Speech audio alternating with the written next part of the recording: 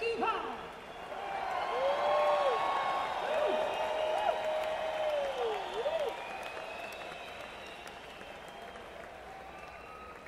a guy that's uh, been with us on tour for the last year, and we've been traveling around the world, and uh, it's great to be with him and him to be with us, of course, on tour. He loves Yes Music.